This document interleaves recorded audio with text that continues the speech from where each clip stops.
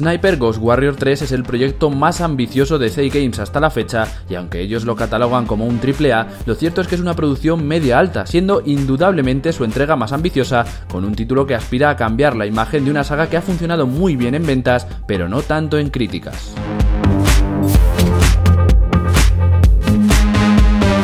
Esta tercera entrega apuesta por un desarrollo abierto muy inspirado en otros títulos muy conocidos como Far Cry 4, aunque sustituye los enfrentamientos más directos de la obra de Ubisoft por las opciones de sigilo que otorga encarnar a un francotirador. Es importante recalcar esto porque aunque el juego ofrece varios enfoques para afrontar cada misión, el núcleo sigue siendo la experiencia de un personaje con nervios de acero, paciente y que estudia el terreno en busca de su presa antes de hacer saltar las alarmas.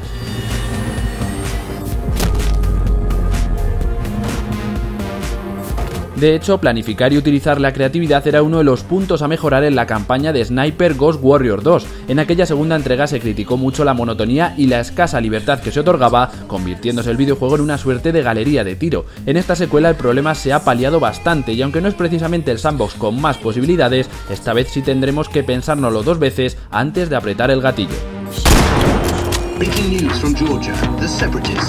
A nivel argumental, el título se ambienta en las actuales tierras de Georgia, siendo nuestro objetivo prevenir una guerra civil en una zona controlada por varias facciones hostiles de Europa del Este. De la misma forma, también encontramos historias personales entre personajes, consiguiendo que la trama tenga un poco más de humanidad. Entrando en materia, el juego nos presenta una serie de misiones que estarán accesibles desde nuestras cuevas de operaciones, lugares en los que podremos preparar nuestro equipamiento, las modificaciones de las armas, los explosivos o crear y comprar munición. Toda esta preparación es muy importante ya que hay diferentes tipos de enemigos, incluyendo algunos con protecciones que requieren balas especiales, por lo que deberemos analizar bien cada misión antes de realizarla.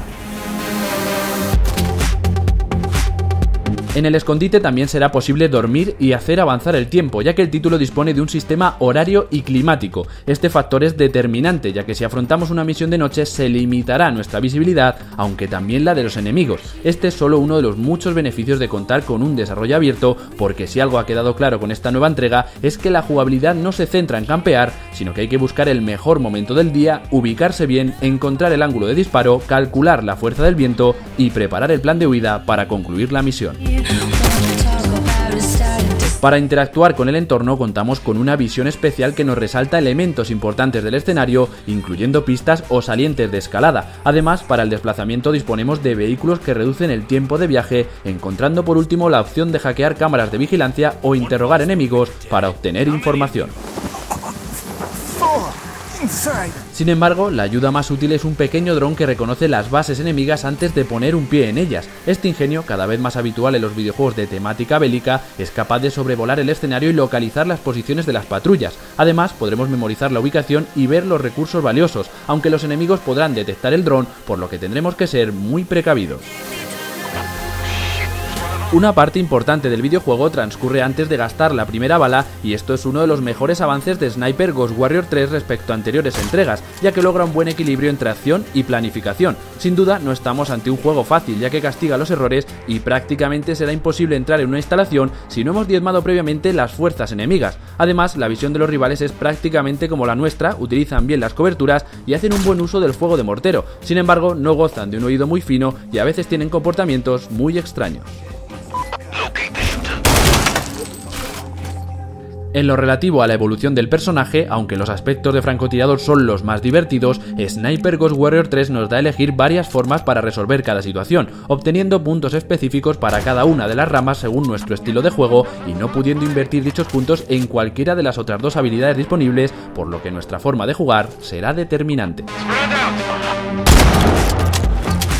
Respecto a la jugabilidad, la principal crítica es que no se aproveche el mundo abierto entre misiones para ofrecer un lugar interesante que explorar. Nos encontramos un entorno vacío y poco interactivo que en la práctica lo único que hace es distanciar físicamente las misiones entre sí, viendo simplemente algunos campamentos o animales durante nuestros trayectos, quedando por lo tanto muy lejos de la vida de otros videojuegos como Far Cry 4, que nos invitaba a estar horas y horas explorando todas sus localizaciones. Además, el recorrido suele estar muy delimitado por la orografía o la movilidad del personaje, pudiendo utilizar el viaje rápido para acabar de un plumazo con todo el planteamiento jugable en una muestra más del poco partido que se le saca a este enorme terreno. Donde sí que podríamos decir que se aprovecha el mundo abierto es en el perímetro de las bases enemigas, encontrando muchas formas de afrontar una misma misión según nuestra ubicación o la ruta seleccionada.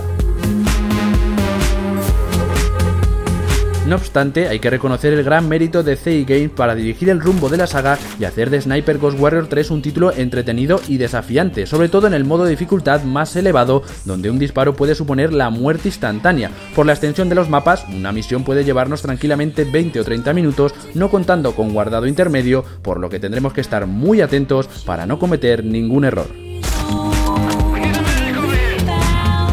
Visualmente el juego luce bien, utilizando el motor gráfico CryEngine, una base que garantiza una serie de puntos fuertes como zonas amplias, bastante vegetación, buenos efectos de partículas y una cinematográfica cámara bala que sin llegar al nivel de crudeza de Sniper Elite 4 es realmente espectacular.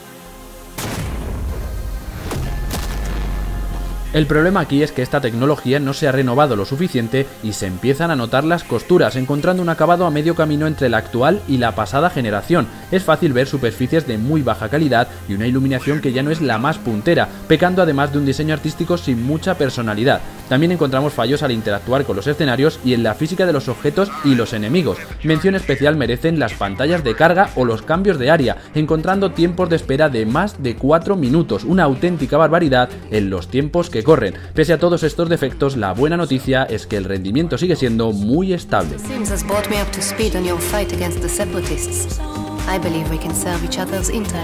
Por lo tanto, si has disfrutado con otros títulos de la franquicia o eres aficionado a los juegos que combinan mundo abierto y sigilo, esta tercera parte va a satisfacer tus necesidades de curar migrañas con disparos lejanos y certeros. Sin embargo, la advertencia es clara, no lo tomes como un auténtico sandbox porque el mapa actúa más como un terreno para ir de un punto a otro que como una zona de recreo. Además, os recordamos que en futuras actualizaciones se incluirán de forma gratuita modos multijugador para un título que sin ser brillante consigue ofrecer una buena experiencia de juego.